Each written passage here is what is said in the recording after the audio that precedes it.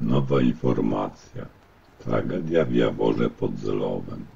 Do zdarzenia doszło po godzinie 17 w niedzielę w gminie Zelów.